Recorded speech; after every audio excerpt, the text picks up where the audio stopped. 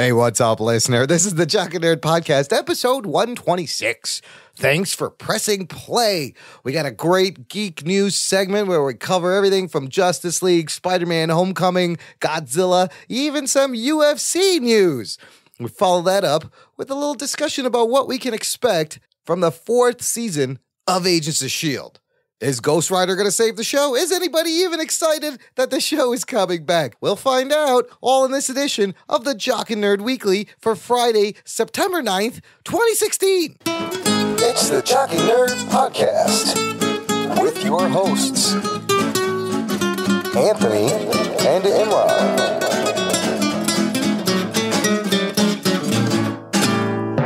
Jock and Nerd! Oh, hey, listener. What's up? My name is Imran. My name's Anthony, He's the Jock. and he's the nerd. Welcome to the Jock and Nerd Podcast. Uh, holding down the third chair over there, that's the Rug Boy. What's up, Rugs? Good earth to you. What's up, motherfuckers? How's What's it? up, dudes? What's up, dudes? How's it going? Anything? Oh, I should have to say that. no, that's your, isn't that your catchphrase? What's up, dudes? How's it going? like, I don't want to like leave you wanting for anything anymore. that's okay. Look, listen, it's been a long week. We're all exhausted. Anthony is still recovering from his Labor Day celebrations.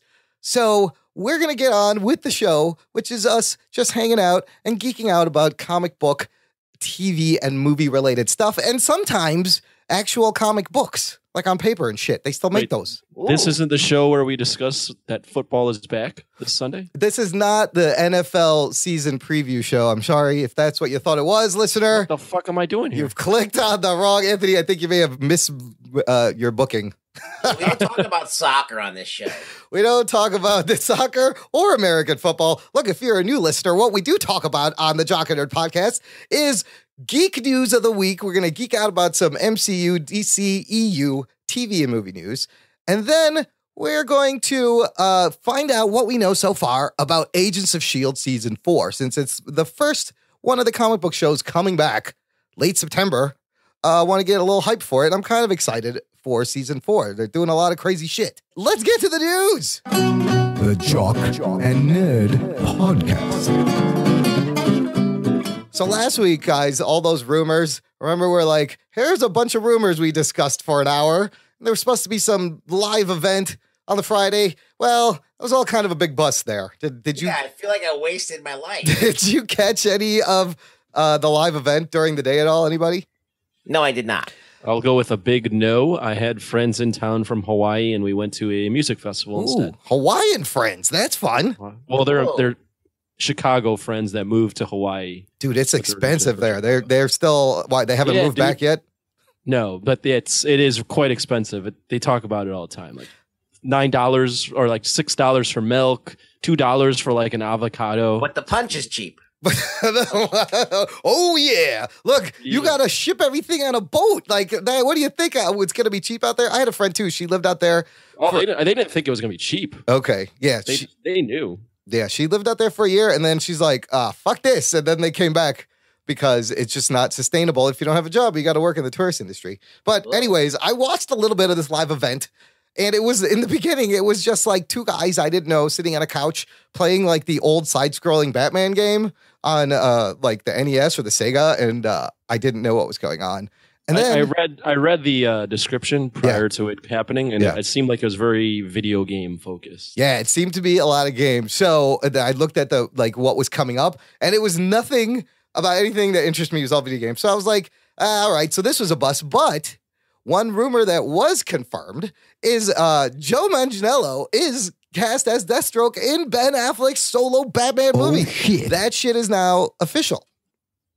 So does this ma- validate the rest of the rumors? Ah, well, We'll no, see. I don't think so. Like, uh, not always because you know how these things are. But that one, uh, there that one's true. I mean, Uh, if that one wasn't true, then you'd be like, "Well, this fucking rumor sheet is just completely false." They So were at least very- nailed that one. Yeah, they were very specific rumors. So this thing specifically says it's been confirmed by Geoff Johns it will appear in Affleck's upcoming Batman solo film. They haven't confirmed whether he's going to be in Justice League, but you got to imagine it's going to be a little cameo, a little setup. in Justice League. Yeah. Uh, maybe. I mean, I, don't know. I- I, don't know where would you fit him in. Well, I think what they showed us, that thing he tweeted out, had to be from Justice League because they don't, they haven't started I don't production on Batman. I don't know. It could be t- Justice League footage, but it also could just be test footage. Don't forget they did they did Deadpool test footage. That's true. They've done other movies with just te- like they did Ant Man Do you test think that they would like release it though to the public if it wasn't like gonna be in the movie? Yeah, they've released the Ant Man test footage that was not in the movie. And Oh, right, that's right. They did that. They did Deadpool test footage that ended up being in the movie, but it, it was still test footage. I hope he makes a cameo. Eh, On Twitter though? Yeah, well, and that was like that was like just Ben Affleck. Well, you think he probably? I don't think he even asked anyone. He's like, you know what? I'm fucking tweeting this out. I don't give a fuck what you guys think. You're gonna have to roll with it. I don't know.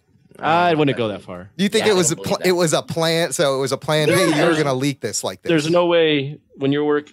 I mean, we've talked about studios meddling and shit all the time. You think they're gonna let Ben Affleck just be like, "Hey, do something without us knowing about it"? This is well, actually I, happening. it's it seemed a very casual thing the way it was done. So if that was planned, kudos to them. It kind of uh, it seemed like he just did it. Uh, do you think he's the only villain in the Batman solo movie, or he's a villain, or Well, not didn't, the we- didn't didn't you read the rumor to us that he was a villain in a v- movie full of villains? Yeah, with uh, that was with the Deadshot and uh, Arkham, Everybody. possibly. Yeah. Yeah. Amanda Waller's. Uh, so that's awesome. If they're gonna show us that, that's exciting because that was Does kind it of give a cool cred- credibility to that rumor? You think that he's in the movie? I mean, you got to think that it's that this thing came true, and uh, that that why why not the rest of that the plot line that we read could also yeah, because it sounds like a crazy ass plot It line is. with a lot of people in it. uh, with a lot of stuff going on. Yeah. But good for him, man. That guy, he's gonna be great in the role. Like they couldn't have picked a better Deathstroke. He looks like him for oh, sure. Oh, he fucking looks like and, Deathstroke. and he's Yeah. jacked. He can He's act. jacked. He's he's a, he can act. He's he's a big guy. Um, he's a he's the only problem I had with uh, the Deathstroke in Arrow is I felt like he was a little too small of yeah, a dude. yeah, Manu in stature, yeah. But they they have In very, stature, yeah, he was shorter than Ollie. I was like, this is kind of weird. But uh, Manganiello and Manu Bennett kind of share similar. Uh, they kind of look uh, alike. Uh, Joe is just a lot bigger. Yeah. He's a giant. dude. Yeah. That's awesome. All right. Well, moving on. I got some other news about Justice League. But before we get to that, we got to sh- mention Suicide Squad is. Are we still talking about this fucking Yes. movie? You know why? It's killing it at the box office. It has now entered the top 100 highest grossing movies of all time, and it was the top five most profitable movies of the summer. Uh, th- for all intents and purposes, for Warner Brothers, this is their first legit like hit of their DCEU uh, in terms of profit. I would think. What was the what was the readout on that? Like they made it for what 120? You said. Well, they said 175 million. It's made uh this article as of September 4th, it's grossed over 600 million worldwide. I think it's like at topping 700 now. It's it's six seventy nine as of 679. this recording. Yeah, yeah. I mean, it's that's good. You know, I mean, top one hundred of all time is a good accomplishment. Top five of the summer to me isn't that big of an accomplishment, just because It's been a kind of a weird summer. it's been a weak weak Yeah. summer. Yes, very weak. the other movies being uh well, it's a lot of Disney, uh Captain America Civil War, Finding Dory, Yeah, uh, and Batman v Superman, I think, has got to be up there. uh Secret Life of Pets, and uh yeah. So wow. Good for Suicide Squad. We'll stop talking about it, but goddamn, it's still making tons of goddamn money. Yeah, I mean it was an okay movie that made a lot of money. Well, you know, and you know, you know what what sign is this sending to Warner Brothers? We'll get into that in a second. Did you see this thing about Mark Hamill and Kevin Conroy? I guess they were at a uh, convention in Canada, Canada's 2016 Fan Expo, Mhm. and uh, kind of fucking around with the audience. They someone asked what titles were currently in development, and Conroy turns to ask Hamill. He goes, "What do you think about Hush?" And of course, the crowd goes crazy. And uh, Hamill replies, Well, what do you think about a death in the family? Oh shit. Uh, and why would they mention these two things, first of all, if they weren't actively doing it? And secondly, I don't know if this is a good idea anymore after killing Joke, guys. I don't know. I kind of cringed initially, which is shocking because I love these ad- adaptations. That's the thing. The Killing Joke had a lot of problems with it, and and some of those problems were Mark Hamill and Kevin Conroy. To be be honest with you, if you're gonna go that dark with something and you have those voices from the cartoon, it just doesn't carry over that well. Yes. I don't know. I I don't think Kevin Conroy would know the name Hush unless somebody from like a producer told him that that that was what they were doing next. Like he, I don't think he knows. So they were fed. They're they're probably working on this because uh, they right. You're right. They wouldn't know. Yeah, like you think Kevin Conroy's reading Hush? Now, you know, and I would be okay with keeping Conroy. It's really Mark Hamill that, like, if look, if you want to keep those guys and the Bruce Timm look, just do a, something like Mask of the Phantasm. Do a new movie in that universe. That would be awesome. I would love to see that. I kind of want to see some new voices. Give it some uh, a different edge if you're gonna do these, uh, you know, seminal works. And I, yeah, it's just the voicing. The voicing makes me. Uh, cringe now. The voice acting has to be like almost transparent. Like you, you, you can't notice it. Like if you notice it too much, you know you're in a cartoon, and then it loses all of its its value. Anthony, comment. Yes. So I would have been more confident in uh, Hush and Death in the Family if they never released Killing Joke. But after they completely botched the Killing Joke in general and adding that weird storyline where Barbara's just a victim, a needy victim with a 90s Unnecessary. sitcom- Yes. Yeah, and a 90s sitcom gay guy as her Yes, best just friend. a lot of bad, weird writing.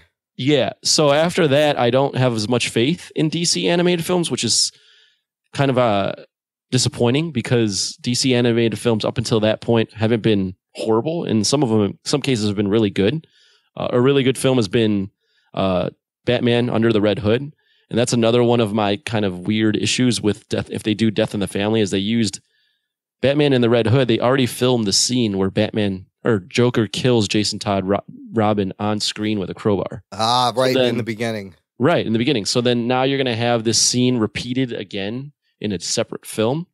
I don't know why you. I don't know why you would do that. Like that's already a moment that they've put in animation. Now you're going to put that same moment in a different animation. Well, look, they've showed us his fucking Batman's origin how many times on film already? Like 12?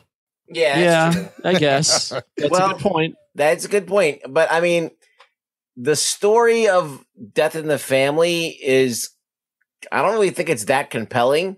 No, I mean, it's the Joker. He's running off to like uh everybody, and Jason finds his mom. Yeah, right. You know, it's just like a weird ass story. I don't know if you want to tell that story. I don't think It- it's going to be good to watch. And- yeah, and it's similar, sort of similar to Killing Joke, not as dark in that the implied maybe rape and like torturing of uh, Jim Gordon with the naked pictures, but it's another one of those storylines where it ends and it's Jason Todd Robin dead, and it's like, what's what's going to come of this? Like, what what else can you really tell? Like, you'd have to add on some more stuff. It, it may fall flat, just like just telling the killing joke. It's, the only it's a s- reason I would do this is to illustrate Jason Todd because everybody knows Dick Grayson and who Right. he is, and and it's a good moment to introduce Jason Todd and maybe even bring in Tim Drake and do an origin story there. You could, you know, they could they do these things where they combine things into the story. You know, like what they did with this Killing Joke. They made a different story with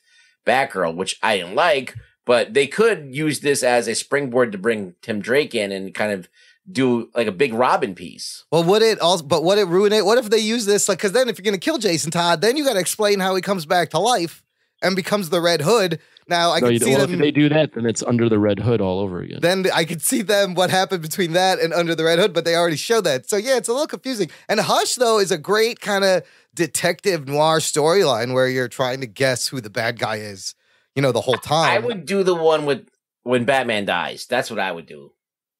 Either Nightfall Oh, where he breaks his back, back or breaking. I would do or I would do the one where he, where he actually dies and, And- Robin has to be Batman. and then right, and he has to where he's uh, Grant Morrison's where he has to work his way through time back. That would be cool. Not, I wouldn't even do the Batman working his way through time because then that takes the focus out of the story Right. on what it Maybe should he's be. just missing. Yeah. Yeah. where it's more I, the dynamic of Dick Grayson finally becoming Batman. That would be cool. Oh, that would be neat. Yeah, I go to see that. But you and know, then Damian Wayne, and then Damian Wayne being the basically the bratty child, and Dick Grayson being the the father figure, sort of. And they've already established Damian in the, the cartoon universe. Uh, and you know, the, the most shocking thing was like, this should have excited me, but like you guys, because I loved, I even loved the Dark Knight two parter, uh, Batman Year One. They did a great job with those. And then I was like, this should have really got me like, Geek boner. but instead I was like, uh, I don't know. I don't know. After the last one. I don't know. So I just think that the Killing Joke works because of the artwork. I think the artwork is just so. it Great. works on page way better. Yeah, it's just as a, p- a piece of art, it's great because it's just so well rendered and it's the most like well rendered Joker that we've ever had. It's iconic. Like all of those images in that book are iconic Joker images of him with his hand on his head. Yeah. You know, those things you can't repeat them in like cel animation. No. It just doesn't happen. No, and that's why I love like the beauty of it being a one shot where it, you know, the Brian Bolland didn't have the strains of working on a monthly comic book. He could take his time and really put a lot of artistry and craft into it, and uh, and it's not long, so uh, you know, each page is special in that, but in that thing. that was his opportunity to just carve out the Joker in like a way that he's never been drawn before. So it's kind of like not something that you want to animate. It's not about the story really. It's not about, you know, the the the storytelling. It's really just about the visual, I think, more than anything. You're right. He was like the most realistically rendered Joker, you know, you had seen on on in the pages. It was Well, I would- iconic. I would also add in though I, I wouldn't com- I don't completely agree with that in that I think yes the art was very iconic, but the storyline of the Joker and it being one bad day, Yeah. that one bad day can make anybody, um, just like the Joker, and then the the storyline of Jim Gordon experiencing his one bad day and still being like, no, I want it done by the book. Yeah. I think that's a very powerful moment for a lot of those those both of those characters and even Batman. So I think that, but it's just that the fact that that storyline is so short, in my opinion, Yes. is why Yeah, I mean, you can't it, really put that on the film. thought, the thought, and the idea is great, but it doesn't have enough length right? to actually, you know, really give it some meat. Hush is pretty long. That was was that Hush like is 12, long. 12 issues. So I'm, I'm looking little- at Death in the Family. I, for, I totally forgot this storyline. It was remember it was in the desert. They go and uh his mom. Well, now I'm reading it, but Yeah. I, I remember now I'm remembering that the Robin's death is actually like halfway through the book, right, and then there's more, and and really, and then the- there's more that isn't that cool. and that's actually. o- and it's only famous because people called in and voted to kill Jason Todd. Like uh, you're right. Right. maybe the story does not hold up. Like I can think of a bunch of different things that has happened in Batman lore that's been interesting, like the Nightfall with, with Azrael. Yeah, way more interesting than the death in the family. you have you know the fact the one where um you know the KGBeast was running around, and, or when the time where he had where he where he went to Ra's al Ghul and he gave birth to Damian, or or you know Oh yeah, son of the demon, son of the Talia. demon. Great, uh, yeah, graphic novel. Did you ever rem- read The Cult, Batman and Jason Todd? Uh, I remember the cover. Wasn't Oh it like a God. sewer? Like there was a sewer cover on the cover and in Batman's they- hand. I heard there that was, was, a religious cult and bat it was like this crazy batshit cult and it was like a satanic thing and Batman had to go in and rescue somebody from a cult and fucking Dick Grace it's it's drawn by Bernie Wrightson which was Yeah. it's amazing. long ear Batman. Yeah, but uh but Jason Todd is fucking like a badass in this. He's like no, no holds barred. Wait, Dick Grayson or Jason Todd? Jason Todd. I said Dick Grayson by Oh, accident. okay, Jason Todd is badass. in this. Okay. And you see how unhinged he is. It's, it's That's a great- good one. Yeah, that one uh, I've seen on like best Batman stories. Well, look, they're gonna do Hush. They're probably gonna do Death in the Family, and it's probably gonna be flat. I think Death in the just getting back to Death in the Family real quick. That moment where Robin dies, it's it's literally just a moment, and I don't know if the storyline surrounding that moment is all that compelling. It's literally just a moment in. They're literally making. They would be making an animated film based off just a moment. There's no storyline there. The- Yep. The only storyline is uh, Jason Todd's overzealousness, but that's how long is that going to last? Like that's not uh, animated film length storyline.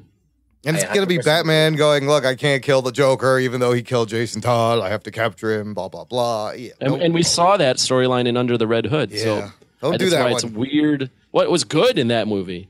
It's just it's not good if you repeat I the think same you know shit. what I think happened. What's what's I think what some of this promoting this is the fact that they did the Fathom events and they made a couple million dollars on kind of a well-known book ad- adaptation. So now they're looking for more of these storylines that everybody knows that people will come out to see, despite the quality. But how about you take some time and and put some quality in it this time, and don't just fucking throw it together. To Well, it has a to be. It's not even the the quality. It's the right storyline. Like we've said here, the Killing Joke is might have not just ever been appropriate for a animated feature length film.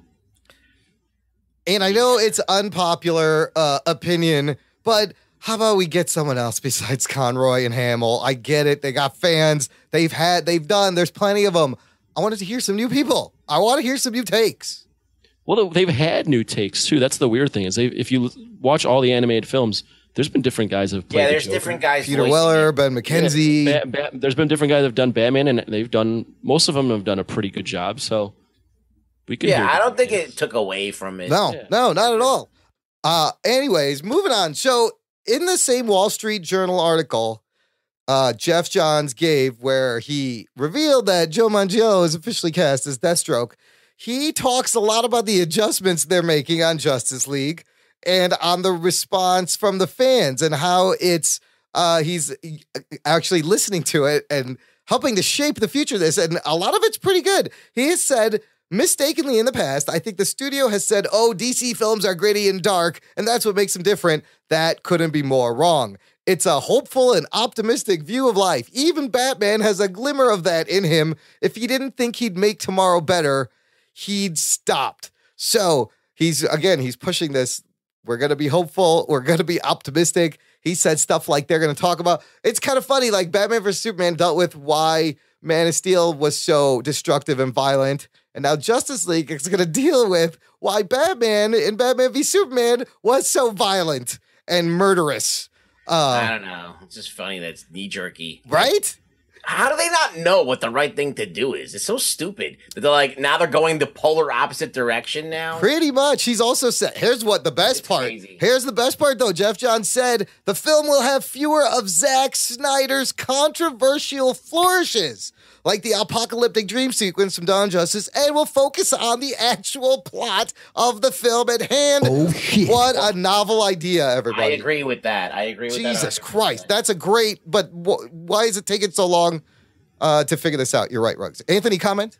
That's great that uh, Geoff Johns is saying that, but it's, isn't this kind of weird that like the executive director or whatever his title is is basically saying, yeah, Zack Snyder kind of sucks at some of these things, like pu- publicly calling him out. Yeah. Like I know that's as fans, that's what we want, but as a company, is that sort of the company you want to direct for when they're like, yeah, we're publicly going to put the reins on our director. Like we're going to publicly tell everybody that, hey, our direct, like we don't really believe in our Wow, director. that is kind of shitty. I didn't even think Isn't about it from, from the other side because I'm like, yeah, no more Zack Snyder. Way to I mean, that's Geoff what we want to hear as Right. fans. But as someone that, if I was Zack Snyder, if I was a director going to direct a DC film, would I want a guy above me being like, yeah, you know, he's not that great at some of this stuff, so we're going to put the reins on him. I think he hurt his feelings. I think Geoff Johns hurt Zack Snyder's feelings.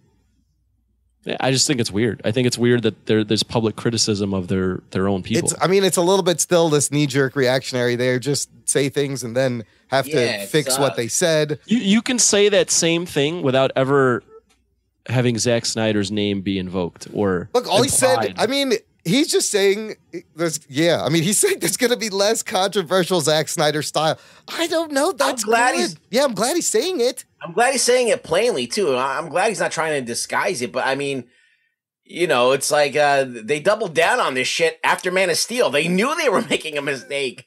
Like it's mm-hmm. not like it was like a shocker. Like oh, we didn't know we were doing it wrong. They knew. Everybody was like, no, don't do this, and then they did it anyway. I mean, I think they keep falling back to that thing where they're like, no, the second movie is supposed to be the dark one, and the third one is going to be the bright one. But whatever, that's just fucking backpedaling a little bit, I think, after the fact. Yeah, we'll see. We'll see what happens. Look, we saw the trailer for Justice League. It has jokes. It has Bruce Wayne smiling. It's got definitely a different tone, uh, you know, already. Did you ever? Did you guys see that uh, video I posted in the Jock and Nerd community page on Facebook? yes. Um, where Zack Snyder's main flaw is that he focuses on moments. Moments versus scenes. Yes, I love that. And uh, that is kind of, that's, he hit the nail right on the head. Yeah, the basic gist was Zack Snyder. For anyone that hasn't seen it, Zack Snyder, his whole directing style is based on creating these iconic moments that you know could ever forever be frozen and that you'll remember. But he focuses so much on moments that he doesn't leave any time for person to sink into the characters and actually feel like they're in this whatever setting he's at. His he doesn't focus on settings and letting people just breathe a little bit. Everything just is kind of frenetic and moving to the next moment. So there's no time to actually enjoy a moment. So this movie and the video basically said too that the problem isn't jokes. Like he, this movie could have a, a million jokes, but if he if he does the same exact thing where he's focusing on just creating iconic moments, then Yeah. the story is still going to suck. And that's the problem with his style. It's still his style. You're absolutely right. There's no establishing shots, there's nothing tying the moments together. They don't feel earned. It just becomes one giant montage for two and a half hours. Like it just jumps to the the money shots. Right. no, there's no rest. There's no, you know, pacing. There's no dynamics. I that video nailed it, dude. He nailed it. It's very like '90s splash page esque. It's a music video. You know, it's a very music, Music video. video or yeah, like splash splash page, page, comic comics, book, yeah. splash page, absolutely. Which is, but the easy fix to that is hook him up with a guy who can tie these moments together in character and story. Like that's not hard. You you know you know his strength. Just don't. I guess they're starting to finally reel it in and figure out what his strength is and But and help it's him. the script though. Yeah, I yeah. mean I mean he's working from a script. Unless he's he's got carte blanche to just throw things away as he feels like it and concentrate on shit that he likes. And I I hope that's not the case. Well, I think it's a lot of the times too. I think writers, and I talked to my friend Chris Sotelo, who's been on this show. Um, he says writers usually are focused on story, but when the director gets a hold of a script, they're like, "What? What? Where can I put my stamp on this?" Yeah. So Zack Snyder's looking at these scripts, and maybe these scripts are poor, probably because he's made two poor films. So, but you know, maybe he's looking at these scripts and going, "All right, where am I going to put my stamp? All right, moment here, this is going to be a big moment. Like, I mean, Yeah. because a director's whole thought process isn't the story; it's everything. It's all right. Where's the light going to be? How am I going to shoot this? How can I make this? Am I going to shoot it from above so that it looks epic? Like, am I going to shoot it from below? Like, everything is all about creating this style and moments. So I think directors, a lot of the times, a lot of directors, not only Snyder, get they get focused on the moments because they want to put their stamp on a film, whereas writers are just focused on story. But then, like, I maybe it's Goyer's fault because he's worked with Snyder more than one occasion. Maybe I think it's a it's a combination. I can kind of see Goyer being like, "Look, I, he likes moments. I'm going to write a whole movie full of moments because I know he'll deliver." And so now it's just making it worse. Yeah, very possible. Look, there's no David S. Goyer on Justice League, so hopefully the writing. It all starts with the writing. You guys are absolutely right. It has to start with the writing uh, for anything to be good. Absolutely. Moving on to the MCU. Hey, you guys remember Happy Hogan? Jon, yeah, he was uh the driver. Jon Favreau as uh, Tony Stark's driver. Uh, well, he's returning. He'll be appearing in Spider-Man: Homecoming. Oh shit. I imagine Oh, he'll be like, Maybe driving the limo. Like Tony Stark's gonna send a limo to Yep. Peter Parker. "Yep, exactly, exactly." Okay. There you I go. wrote it for you. There's that one scene. Print, cut, moving on. Uh, well, also, I, have always liked Happy Hogan. yeah, Happy Hogan's films. great. When we haven't seen him since like Iron Man two. Iron Man three. He got He's his. he gotten got his- really fat too. Yeah. Yeah. He got blown up by uh by one of the uh, extremist soldiers by accident. Oh, that's right. Yeah. Uh, he's very happy eating lots of donuts. I don't know. Uh, here's another uh, uh, shocking addition, uh, pun intended, to Spider Man Homecoming. Uh, we have uh, set photos. Our first look at Bokeem Woodbine, maybe as the shocker. I mean, Is that be real or that fake? I've heard that two different conflicting things that it's real and it's fake. Really? I haven't. Uh, I haven't seen anything that said it's fake. It Everyone's looks. very easily um fooled. I, I'm. I am. He I am very. Godzilla versus Yeah. King Kong. That was uh, clearly a. Oh fake. Photoshop. I'm glad I didn't do that on the show like an asshole. Look, this It looks is on comicbook.com, which is a somewhat credible Yeah. site. and the, the the suit in this Instagram, it's kind of paying an homage to like it's got the yellow uh, arms and and hood mask, and he's got these gauntlets on his arm, uh, and he's got goggles. It's kind of like uh, the classic looking shocker. And uh, I don't know. I heard that instead of like it's like concussive concussive punches that he can emit out of his thing. And we also know in the movie like the Tinkerer. So there's the Tinkerer and the Vulture, and the Tinkerer is going to help the Shocker. Uh, there's already three villains. There's a But does he do? Does he do the hand thing?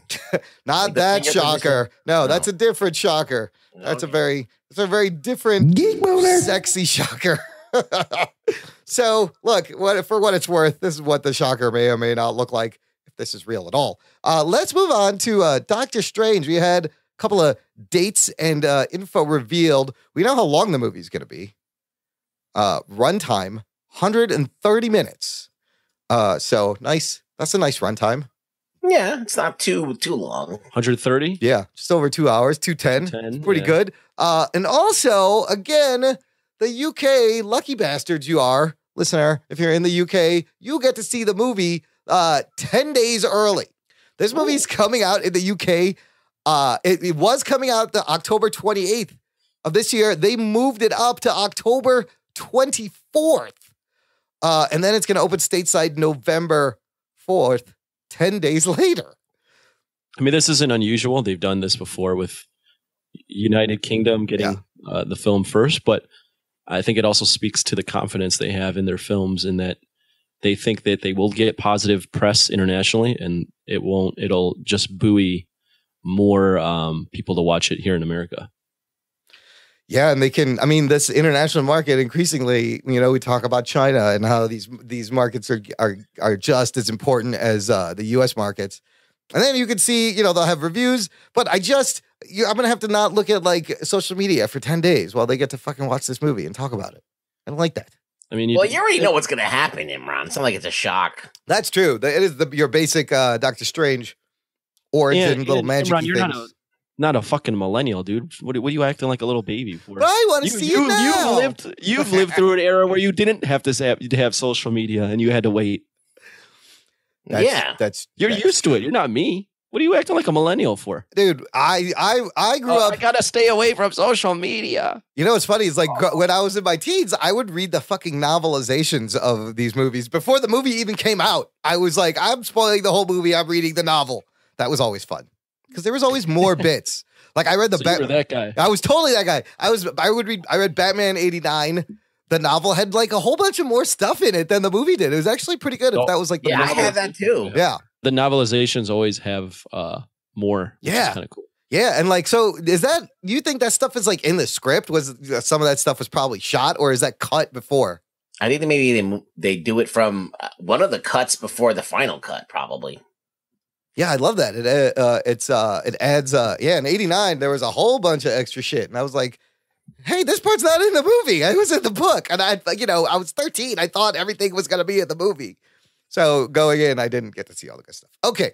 Uh in other movie news, this guy should get you excited. Two Godzilla pieces of news. We have a US release date. Well, it's like a limited engagement, right? We have like a, a date range. It's like a week. October 11th through 18th, it will have a limited engagement in theaters around the country. Uh, I'll put a link in the show notes uh, to the website where you can buy tickets and find out where it's playing near you. I can't believe there's not one in New York City. There isn't one at all. Like in Manhattan, I would expect no, but there's not. Where is it in uh, Jersey? There's got to be one near New York. There's, there's there's a couple in Jersey somewhere, and there's a couple in like upstate New York, but I don't think there's one in Manhattan. The I'm like, movie- what the fuck is that? Like all of Manhattan, nobody loves Godzilla there.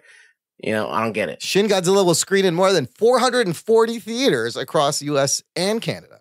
Me and you, Imran, got to go uh, see it. Absolutely, we got to watch it unless I can find it uh, from other means beforehand. No, I'll go see it in the theater. This will be a special, a special trip because Anthony, you and I don't actually go see movies together. Oh, we did the Captain America once. We This- saw Captain America, Winter uh, Soldier, Winter Soldier, advanced two or three years ago. So, yeah, advanced screening. we saw it like a month before it came out. That was awesome. that was awesome. We also Did stood in line eat for about three hours. What's Did that? Imran eat all your popcorn? Did Imran eat your I don't eat popcorn; it gets stuck in my teeth. I will eat all your M and M's. I wish, I wish we had a podcast back then. We could have been like, "Yo, we saw Captain America: Winter Soldier a month early," and I would have just, I would have spoiled it for everybody. Just been an You, asshole. you definitely would have. Uh, This show would have never been able to make it to air because Marvel would have came and sued our we fucking would have asses. got sued. Uh, well, the, I said there was two impo- exciting things for Godzilla. The other exciting thing is there is an English trailer released. Uh, English loosely using that word English. Did you like this trailer, Anthony? To be honest, I didn't know it was there was an English trailer. Eric, so take a moment, click it, watch it now. Everyone, I watched it and we'll discuss. Talking nerd. All right. So, uh, the the first English trailer for Shin Godzilla, uh, surprisingly doesn't even have any English in it, right? There's no English. Nobody's talking. What it does have, lots of cuts, lots of horns, uh, and lots of cool shots of Godzilla at the end. Anthony, what'd you think about this ver- uh, compared to the Japanese trailers. Cool shots of Godzilla. You had one shot of Godzilla. Well, I What are you guess at the about? at the end, yeah. that was the I only was shot that was worth anything. I was watching Anthony watch it, like I was watching every move of his eyes, and, and at one point he made this like mouth gesture, like it was completely like underwhelmed. He was just like, Ooh. and uh yeah, I could tell, like he was like not impressed at all. He was like, okay, cuts, cuts of these guys in meetings, okay. There, it's see like before. It's like weird cuts too. Like it's first off, it's I understand that they don't want to show Godzilla because I don't know. They think some of us haven't seen what he looks like. I don't know why. Well, they, they, they don't want us to see what it looks like because it Right. looks like shit. Oh shit. However, the, the, the way they cut these Japanese trailers, this was even worse than the ones that were made for Japan audiences. Like the shots are not interesting. It's just people, quick cuts of people reacting and doing things. But like the way the cuts are filmed, and maybe I haven't seen the film, but maybe even the way the f- movie's filmed, it's very like weird indie, like guys trying new things like on the indie scene. The way like the overhead shots of like hands and like up close shot of like underneath someone's chin and like found footage shots and then like long shot. Like it's weird. I I mean, just it's but- not it's not at all. It's just it's not exciting. It's more just like the fuck. Why, Do- why- so do why- they think that for like uh the English speaking world like they just need a lot of cuts. Like this thing there's got to be a 60 70 edits in this trailer. Every beat, every second it's cutting uh until the end. Well, that was the concept is that they wanted to take the I don't even know if I'm saying it right, the Ikafube um soundtrack from the original G54 Ah. and edit to the that that dirge. Yeah. I like that. I like that kind of feel. Like the music does give it that feel of a score from the 50s, like the big bombastic horns. Uh, and it seems very traditional. I- well, as a as as you being a non Godzilla fan, that's probably like the most iconic score that is okay. ever. Yeah. Yeah. So I mean, the, the the money shots, of course, Godzilla with the the, the music, the chorus or whatever. Um, that was cool, but everything else sucked. I, you know, some of the horns and the shot, it gave me a little bit of like a Hitchcockian feel also with, or like a Kubrick with like quiet and then loud horns, uh, kind of almost jarring and screechy, you know, kind of thing. So, it's interesting though your perspective on it, seeing as you're not the Yeah. Godzilla fan. That, Yeah. that that is kind of the intent back then ah, with that score. Yeah. So I, you know, it got me. Uh, uh I th- it seemed to get a lot of people excited. Uh, well, Godzilla fans mostly. Well, I've s- I've seen a lot of the the fanboys like just jizzing in their pants at this thing because of that. Because you know what? Whenever you put something that's from the original movie, you know that gets everybody's pants wet. Like everybody, like just immediately, like it's nostalgic.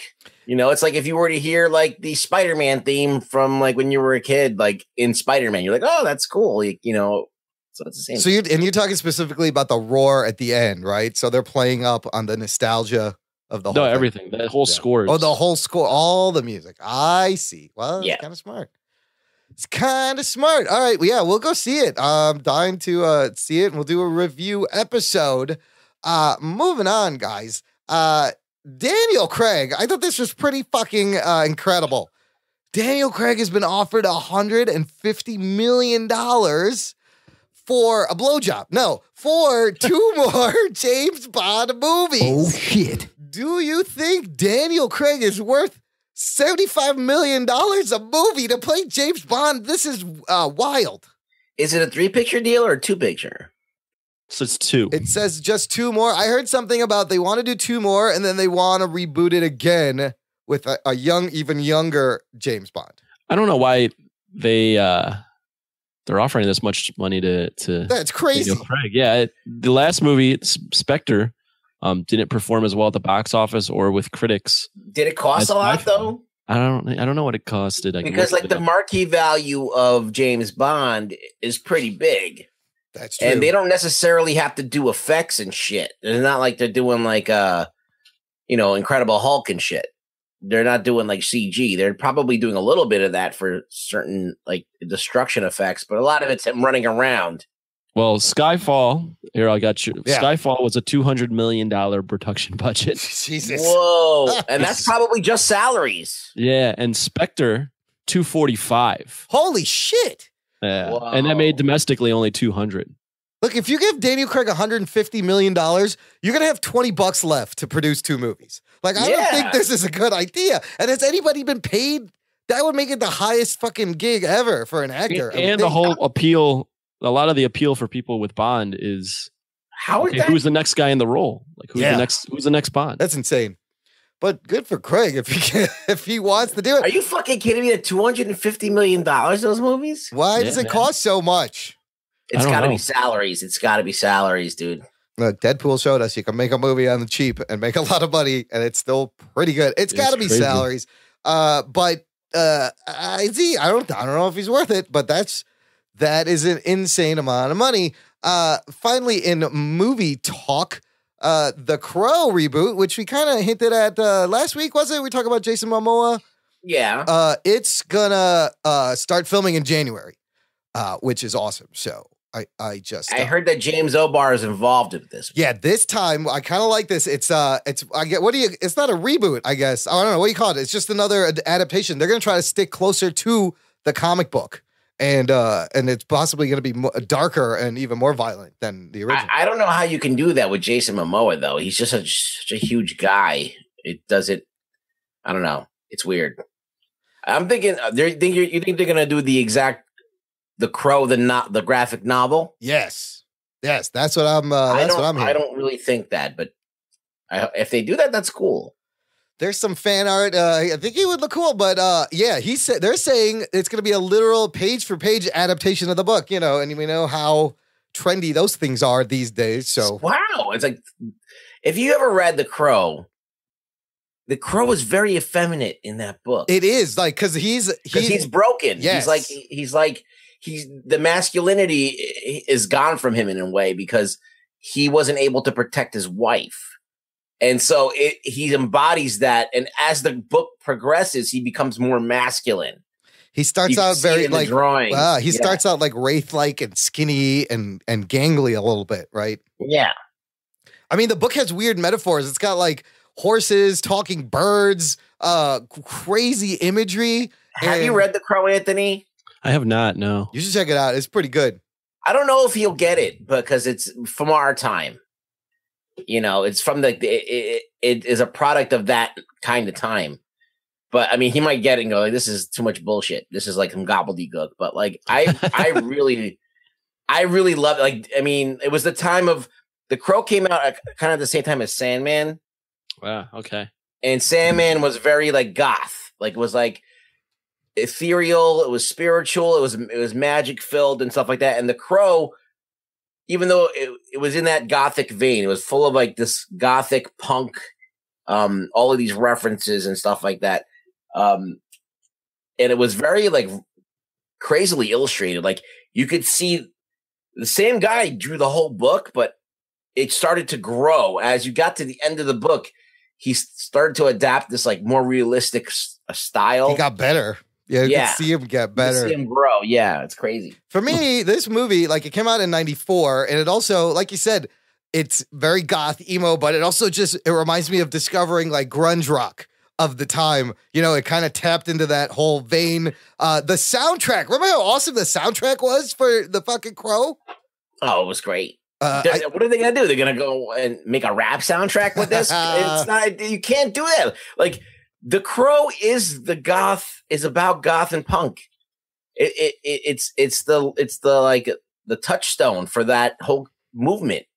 Yeah. Well, a- as a millennial, I can tell you, goth and punk, definitely not in right now. yeah. Not a thing. Yeah. It's not of this time, and it like in the 90s, it was the perfect time for it. So uh, and it's not a thing that I don't, I don't know maybe it will be but it's not a thing that like like we look back at like the cowboy era as like a fond thing or like the the disco era or like the punk rock or the rebellion to disco like those are all eras that i look like i think of and i'm like oh i could see a time period piece about that and it appealing to me goth and punk or whatever not really yet Yeah, so I can't see them doing a page for page adaptation. I just don't see it.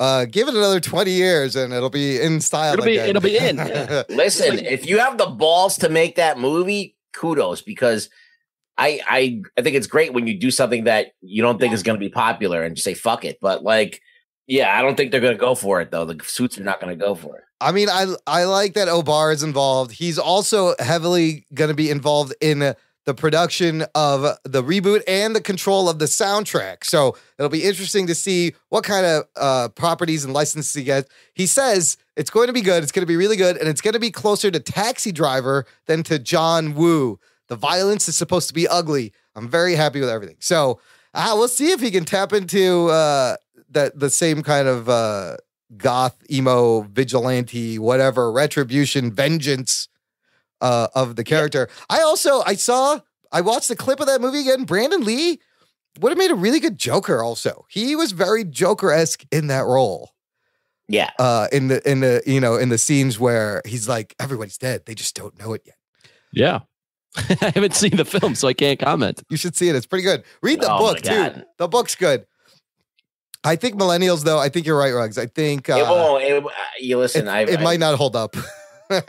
It might Listen, it was of its time. Yes. It was something that that spurned a whole movement, but I don't think it carries weight now. I love the movie though. I still think it's a masterpiece.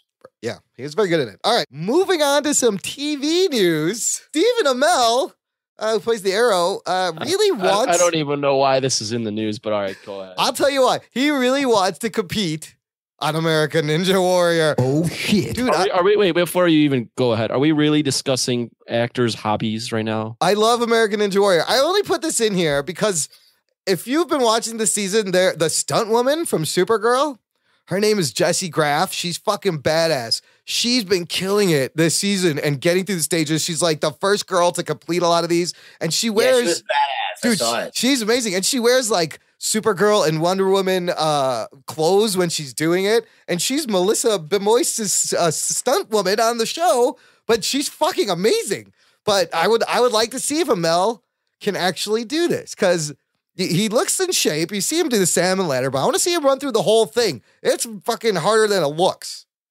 Yeah, course, well, it's quite difficult. Yes, I don't. I think, I don't think. I don't think anyone looks at that and goes, "That looks easy." no? I would just like him to act better.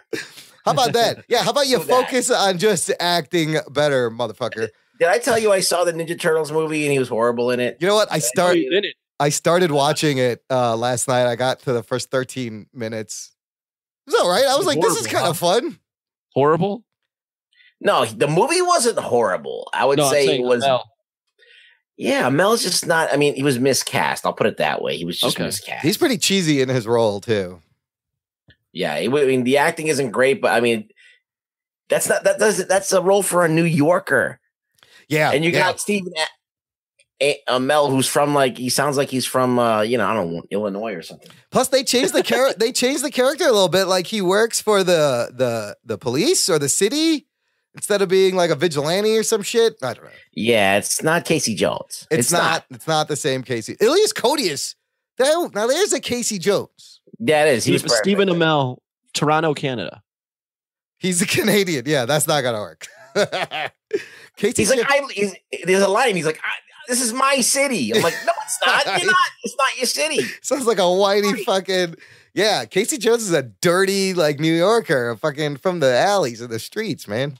I know who Casey Jones is, and that's I do not think of Stephen Amell when I think of Casey. He didn't Jones. I think bother, of like, it- long-haired guy, Yeah. like even the, the original Teenage Mutant Ninja Turtles film. Elias Granted, I don't know- Koteas. That was yeah, him. that guy. That guy, perfect. He was Looked- perfect. looked a lot like him. They didn't. Amell didn't even bother like growing his hair out or a wig No, or nothing. They, they should have put the they should have put the bullshit arrow wig on. him. Yeah, you have a shitty wig. You wear it on the show all the time. Put it on. what are you doing? I, I kind of want to watch the rest of the movie. I watched the first 15 minutes. It seemed like fun. I was like, this is kind of fun. It was, you know, it was a stupid. It's a stupid movie, but like, it's got ninja stuff in it, and Yeah. it's got Ninja Turtles in it, and it's a Ninja Turtle movie. And I didn't even see the first one. And I'm like, fuck it. I'm just going to watch the second one. I don't really they, care. They eat pizza. They have nunchucks. You know, it's all there. A lot of CGI. Uh, moving on to something that's good, guys. Early reviews for uh, Luke Cage on Netflix popping up all over the internet. It comes out September 30th. Every goddamn review is pretty much saying the same thing. This is the best thing Marvel has to offer yet. Like, I, I cannot wait. I'm hoping this is true. I'm, first- I'm psyched. you know, media sites have gotten the first seven episodes. I don't know why we can't get the first seven episodes. Hello.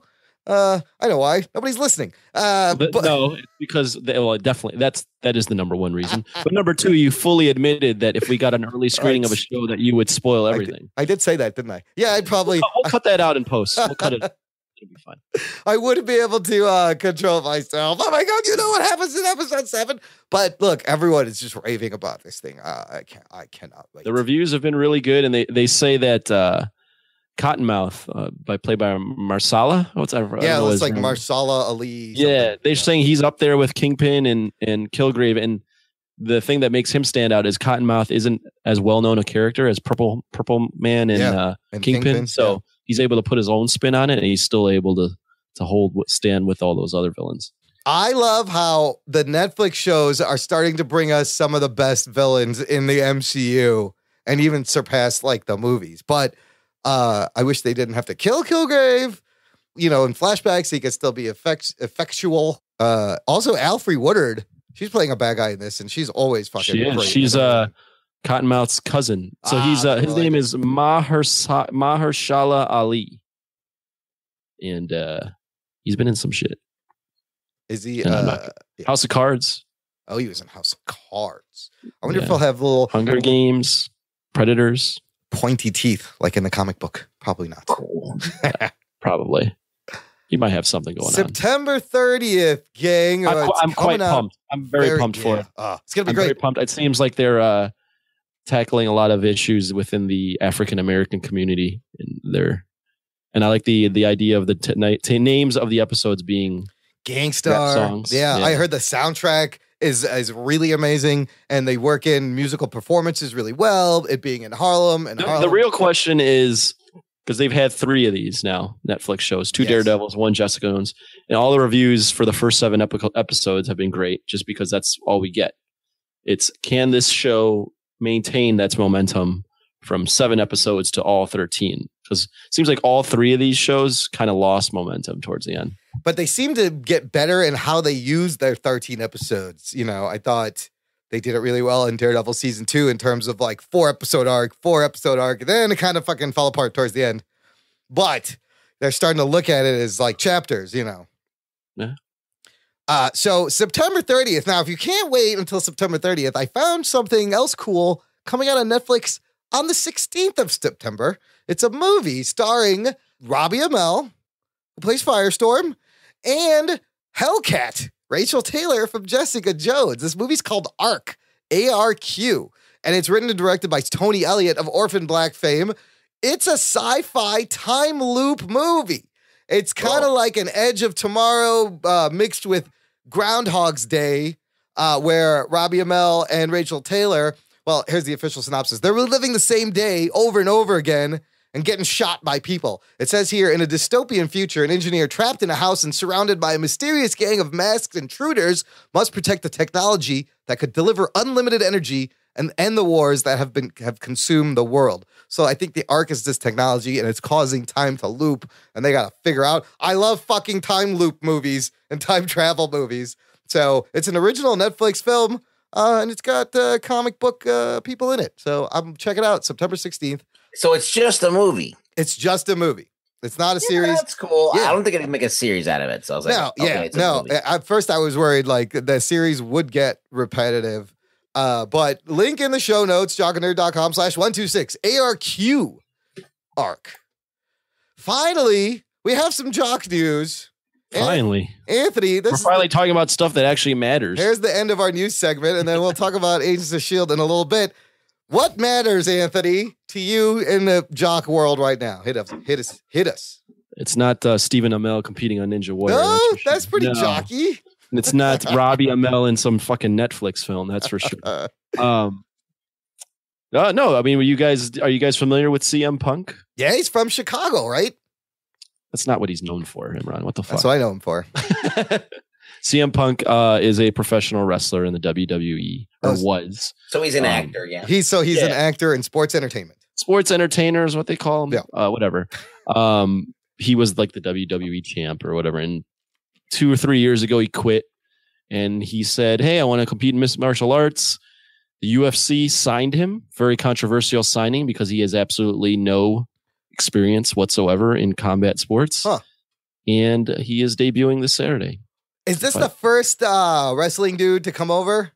No, not the first. I mean, Brock Lesnar was the most famous one prior to this, but Brock Lesnar was an actual athlete, actually had a fight under his belt, and was a national champion uh, wrestler, collegiate wrestler, not not prof- not fake wrestling. So But that, this is what I'm saying. Is this the first for all- you know to not uh, for all? I don't know what words to use. Is this the first fake wrestler to come over to the UFC without any combat training in this situation? yes, Wow. to the UFC, yes. There's been fake wrestlers that have come to MMA and competed in smaller shows, Yeah. but the UFC is supposed to be the the pinnacle, and he's basically skipped the line and Uh so is he training? What do you think? Is he going to get hurt? Can he handle I hope this? he gets his ass beat. I, I fucking hope he gets creamed. I mean, I can't imagine he's going to come out and just win his first Uh, I- fight. I never liked CM Punk. No? so, Oh, no. okay. It's a little bit of a punk. mm, eh. What was They his? like what his was his like? What was his shtick uh, in the he WWE? he was this guy. He was a wrestler. I mean, he's like not the most athletic guy, but he's uh, this wrestler that's tatted up from Chicago. His whole thing is straight edge. So he doesn't drink, he doesn't smoke, he doesn't do boo, boo. and and he's one of those guys that like it was just great on the mic and a good good wrestler. Um, like you know, He's a good good showman. Yeah, I mean, yeah, he's, good showman. He showed up on like Opie and Anthony and like the Shock Jock radio shows and Mancow and shit. I know he's been around. He's kind of like a minor celebrity in Chicago. Right? What do I think about what he's going to do this Yeah. Saturday? Yeah. Uh, he's fighting a guy that's 2 and 0. So the guy's not all that experienced. The guy's also 24 years old, um, Mickey Gall. So he's probably going to get his ass kicked, yes. but It- that, I mean, okay. think about the, I mean, think about this in any other sport. Like if I, granted, Punk's been training for two years with a pretty good gym, so I'll give him that. But you're, you're never good at anything when you first start out, ever. Yeah, but it's his Unle- first. This is the How, first. time how old is Punk? Fight somebody that's going to try and And- kill him. Yeah, and he's 37 years oh, old. Oh, jeez, he's cut up He's a not- 24 year old. Not on in his athletic prime. He's been professional wrestling. While it is fake, it is definitely not easy on the body. He's probably been concussed 10 times in his life. He's had back surgery, he's had shoulder surgery. So imagine like a guy like me or you rolling out of bed and being like, in two years, I'm going to go compete in the NBA or I'm going to go compete in football or I'm going to go compete in anything. It's not happening. Yeah, it's So not. It's guy- not possible. I mean, he's fighting a guy that's not that experienced, but this guy that he's not that experienced is still 24 years old and been training and has two fights. So he set this two years goal from the beginning. Like he he knew I want to give he myself said two one years. year, Okay, and his body is so beat up. he needed another fucking year. No, no, he got he had like shoulder surgery Oh, and then back uh, disc herniated disc. So he's just not in his prime. Like he He's could get beat up. really hurt though, like permanently Why does injured. he even want to do this? I don't know. Like it doesn't make sense. That's a good question. Uh, he wanted to. It's just a personal thing, To like prove to himself. prove to himself that hey, I can do this. I can I can do it. I can. If you put your mind, sort of one of those. If you put your mind to it, any you can do anything, sort of thing. Well, you know, whatever. You think he'll be I mean, one and I- done after this and be I like, think oh, it's fuck interesting this? Listen, I'll tune in to see him get his ass kicked. I'll tell you that. Is it a big Yeah. draw then for uh the I want to see what happens. It makes you makes you curious about it. Lots of I mean, there's there's two fights on here. That there's a heavyweight championship fight and there's a co-main event that's a big heavyweight fight, and no one's talking about those fights. They're talking about CM Punk. So, for the UFC's perspective, I think it is a big draw. I think that I mean that's why they signed him. They wouldn't sign they wouldn't sign you off the street at zero and zero and be like, hey, you're gonna fight. So yeah, it's doing its job. We'll see what the pay per view vibes look like, but and then some nobody is just gonna kick his ass. But even I know from our MMA discuss UFC discussions, anything can fucking happen. There's really no way to call That's it. true. anything can happen when it's two high level guys fighting each other. When it's a 37 year old man with no prior combat experience against a kid that's been training for two years and is 24 years old and is 2 and 0, Yeah. the likely outcome is that CM Punk's getting his. Likely, but you never know. Yeah, I mean he Anyway, should. might- if you can get a naked choke on the guy or something and lands in the right spot, you never know. You're you're right. I mean, you asked if if it's going to be a one and done. If he wins, Yeah. they'll probably find him another fight.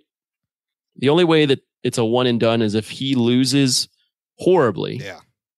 and no one bought the pay per view because then Ah. that's the whole reason is people buying this. But if no one cares Yeah. and he loses horribly, then what's the point? So he kind of just based the last two years on his life uh, riding on this one fight right now. Yeah, someone asked him. I read. I listened to an interview today, and it was like, "Have you ever prepared?" And this is like unique to humans. Have you ever prepared for two years Yeah. for just fifteen minutes of your life? oh shit, that's crazy to think about that, dude. you know, like have you ever prepared for one moment? Like this, put this much preparation into just that short of a time period. Yeah. Olympic athletes do that shit. Olympic athletes do that. Yeah. Well, yeah, and that's even think about you know I think about like Usain Bolt and how he, he trains a year for forty nine seconds, nine seconds, forty seconds, but it's the fucking most intense. no, it's not fastest 40, 40 it's seconds. nine seconds. It's 40 yard dash. Forty yard dash in yeah for nine seconds. dash for yes. nine seconds. Yeah. Nine seconds, dude. It's over like that, and you're the fucking Flash. That guy's pretty amazing. Well, there was one uh, guy from I forget which country, like Car- Caribbean country, that'd been training, and then on the hurdles, he he f- hit the first hurdle in the Olympics Yeah. and fell, and he was Oh. done. Oh like, shit, that's You've been it. training your entire life, and you fuck up right imme- immediately. Shit. Yeah. Wow, That's, that's what I uh, would do. that's uh, that's why Pretty the, much what I would do. so, ironically, CM Punk, big uh, comic book fan. Yeah, yeah. Yeah. I think he he might have even been on Comic Book Man. I've seen him on so many like geek things, like He does a lot of like sh- signings at comic book yes, shops and stuff. conventions and stuff. Yeah. All right, Oof, I watched that Kevin Smith show, by the way. geeking Oh, what'd you out. think? What'd you think, Hugs? Isn't it what exactly what we told you? You know what? It didn't bother me that much that they were cutting all over the place. It was that Grunberg should not be there. He clearly doesn't know what the fuck he's talking about. No, he doesn't. Kevin has to explain everything to him. He just he. He's supposed to be the straight man to Kevin He is the wild straight man. But to his credit, he has been in Star Trek and Star Wars and every J.J. Abrams movie. Like he's been in And a lot of weird shit and heroes, but he doesn't know.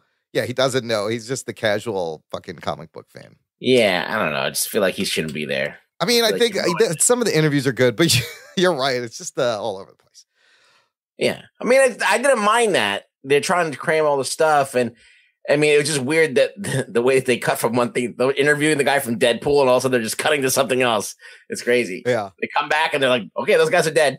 they, Never you know, those guys. We never say goodbye to them. they uh, that interview with uh, the writers Reese and uh, Wernick uh, was kind of interesting because we learned that Ryan Reynolds paid out of his pocket to have the Yeah. on have the writers on set with him. It's pretty crazy. He did so much out of his own pocket to make sure this movie is what it should have been. Yeah, I mean, there's some content there. There is. It's not There like is. it's without content. It's just I just think that Grunberg shouldn't be in there. I did if they padded it out to an hour and added, you know, a little bit more, I think I would watch it. I think it See, would work out better. this is the thing that I don't understand why they don't do this. Is it a, maybe it's some kind of a licensing issue or something? Like, why can't they just every once in a while? Like people do this shit on YouTube all the time. Like they'll take they'll talk about something and then show some of the artwork and maybe like do a quick like little rundown of it of what you're talking about so everybody can be on the same page. Kind of like well, they do it on Comic Book Men with the thing where they show you the graphic and they show you this came out in 1972. Yeah, but they don't ever show you the artwork to the comic book. They just show you the cover, and oh, then Oh, that's see what you're saying. You're lucky if you see anything from the content. I see what you're saying. There's barely any fucking time in that show to do that. Everything is squished together. All right, King, that's the end of the news segment. Let's push on. After these messages, we'll be right back. Hey, Imran, Hey, Rug Boy. wouldn't it be great since we're putting out all this great shows and great content that our listeners could support us in some kind of way, maybe with a website or something? You know what? I got an idea. Hang tight, I'll be right back. Talking nerd. All right, listener, we have a virtual tip jar. Wowie zowie! It's called Patreon. Visit jockandnerd.com slash Patreon and you can support the show and help us help you. How you do that?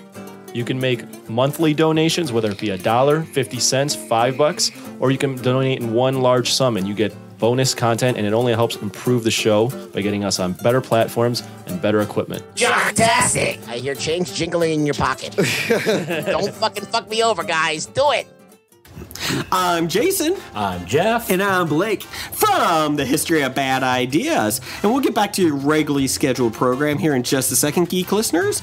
But we do a weekly podcast called The History of Bad Ideas. Yeah, well, we'll discuss things like television or movies or music or games or any other thing that falls into our geek related uh, podcast knowledge. You can find us on uh, Geek Life Radio Fridays, 10 a.m. Eastern, 9 a.m. Central, or Radio hyphen Blitz Saturday, 9 a.m. Eastern, 8 a.m. Central, or you can listen to us whenever the hell you want on iTunes and Stitcher. Check us out. Roger says goodbye. Goodbye.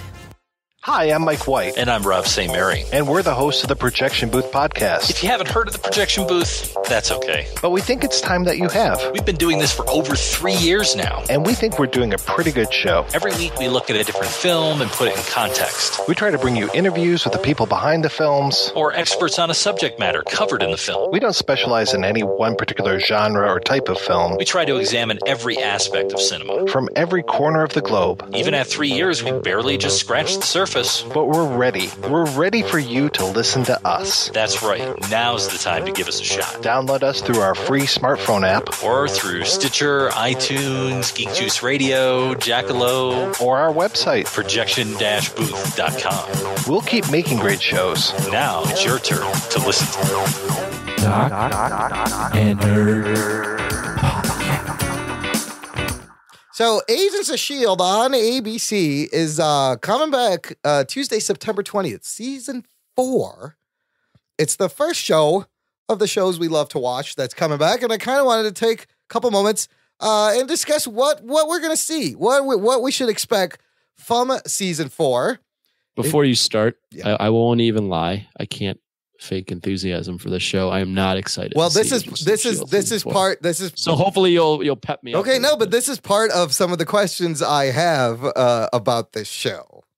Is Okay. is okay? So where we left off at the end of season three, basically Lincoln and Hive dead. There's a six month jump ahead. Daisy has gone rogue. Coulson and Mac are after her, and Coulson is also no longer the director of Shield. Now the question is. Is anybody excited for the show to come back? Like, you gotta imagine the only people still watching the show are gonna be diehards. Uh, it's not, I don't think it's gonna attract a lot of new people, but the stuff that we've they're planning for this season seems like it may save the show. Show.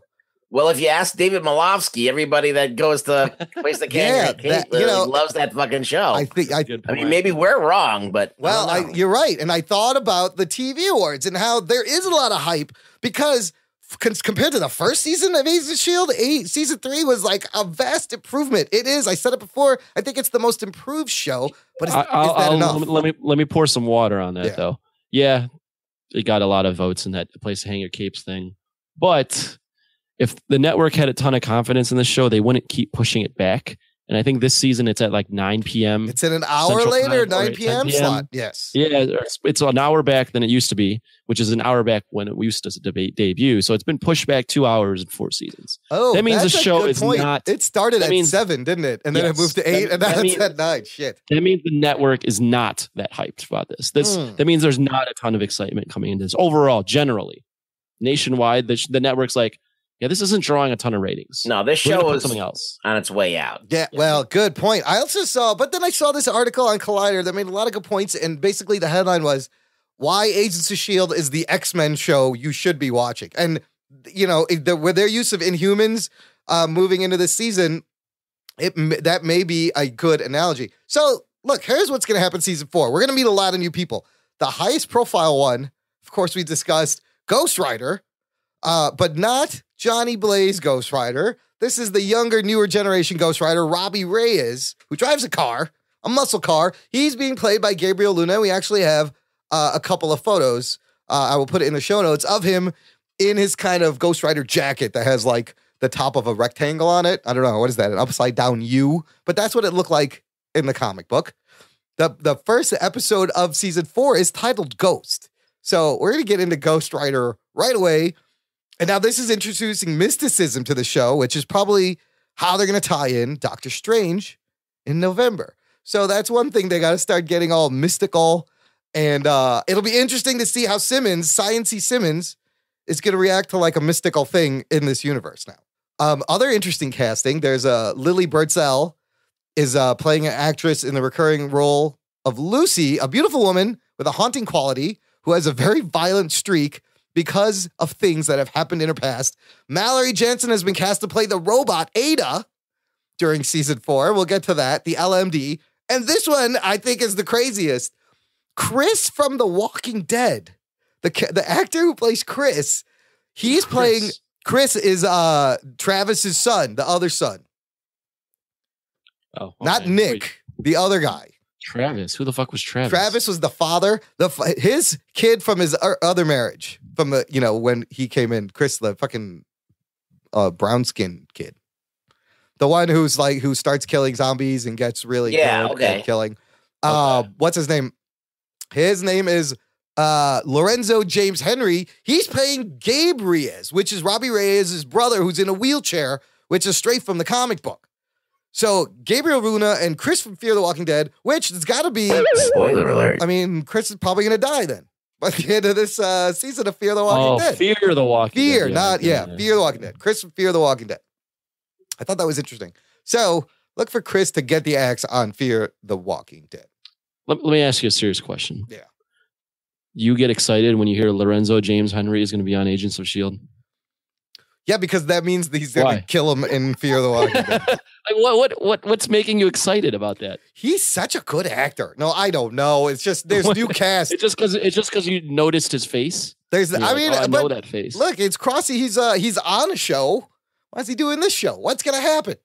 Uh, uh, yeah, I, whatever. It's new people. It's a good. What's This, gonna happen? there's gonna What's be new gonna people. An actor on two different shows. Oh my god! How is he gonna? How is he gonna handle the workload, guys? I don't. Uh, I don't see how this is possible. His booking agent's gonna be very busy. You're doing a very solid job of convincing me this is going to be great. Okay, what about the fact that they're gonna start dealing with science and magic this season? You know, we saw the other tease at the end of last season that uh, uh Holdcliffe, right, uh, whatever that scientist, he has an LMD, a life model decoy, a female, possibly a sex robot. I don't know. Her name is Ada. I would uh, program uh, some naughty stuff in there. Uh, her name is Ada. So we're going to have a lot of science and magic blending LMDs. Uh, Daisy is full on Quake. She's pretty much Quake. We saw in the newspapers, they're calling her Quake. She's a, a vigilante. We've seen her powers expand. She can almost fly. And uh, apparently, when we come back, she's not going to be doing well. Like, she's been abusing her powers. She's drained, and they're chasing her. I kind of want to see, like, this dark goth Daisy. That's kind of cool, Anything dark goth, uh, Chloe Bennet, I'm I'm in. right? Any look, any look for Chloe Bennet, except her maybe shaving her head would be awesome. Ah, she could probably play that off, too. She could probably pull that off too. They yes, could probably right. pull that off. Uh, we got Shield will have a new director. They've cast this dude Jason O'Mara as the new director of Shield, but we don't know what his name is. And they've said it's somebody who's like an important character in Marvel canon from the 40s. Okay. Uh, and uh, and everything, of course, now takes place post Sokovia Accords. Everyone knows of enhanced peoples. There's no hiding it. So there's a here's a new dynamic, you know, and uh, that could be interesting. I'm excited for that. Anthony, anything? Is it doing anything for you? Uh, I think What- my dick is crawling into my stomach. as It's inverting. Oh no! Oh shit. Where do we leave off with the bad guy in this thing? Because uh, the Hive is dead. Hive is Hive is gone and Hydra is gone. Hydra's always going to kind of be around, I would assume. But yeah, there we don't know what a Yeah. bad guy, who the bad guy is in this. It could be like Shield versus Shield. It could be Was there something about the Inhumans being on the table now? yeah. he- They have Kevin Feige has said uh, that Agents of Shield can use classic Inhumans because yeah, because Inhumans, the movie is killed it. supposedly not happening. yeah. Yeah. So what does this mean? Are we going to see Black Bolt, Medusa, Lockjaw? I mean, to see a big slobbery dog transporting that'd be kind of crazy. Would it work on this show? It's going to cost too much. They're not going to do it. Yeah, right. Do it. It's going to suck. Look, the thing about Agents of Shield is that moving it back to this nine o'clock time slot, it's the kiss of death. I mean, but that's all. it but is. they could be edgier and darker, which is what they're know, promising. but not not enough people going to watch it though. Well, that was my follow up question: is how many returning people you think this show is going to get? this is what has to happen. You have to make the show cheap enough so it could stay on with low ratings. Yeah. Mm. And you can't do all the effects and stuff. So you have to change the tone of the show. It could be if it's more of a drama that doesn't need that much stuff, if it's a more cerebral thing, then maybe you can pull it off. I see where you're going, Ruggs, and I kind of feel Yeah, like that's a good point. does the show need a complete creative reboot? Uh, you know, like new It showrunners, won't new the writers. same show. It won't be the same show, and the people who wa- tuned in to watch it, unless you have Chloe Bennet tits hanging out, like there's really nothing to tune in for. Look, I mean, like I'm just saying, like I mean, how you need something to keep asses in the seats. So what is it going to be? You don't if you don't have the big uh, action scenes anymore. You don't have all the money that's pouring in for something that's in the later hours. I don't know. I mean, I think I think a change of tone for the show could save it. And I- this is what I'm hoping is why I'm excited is that the 9 p.m. slot will provide this darker tone. You can have more sex, you can have more violence. And now you guys keep saying 9 p.m. slot is the death slot. However, traditionally, this slot has been held for like really good dramas, like your your scandal and your ER was at nine o'clock, and How to Get Away with Murder. It's very interesting to put this show in that time slot when people are usually looking for like their courtroom dramas or their fucking Law and Orders.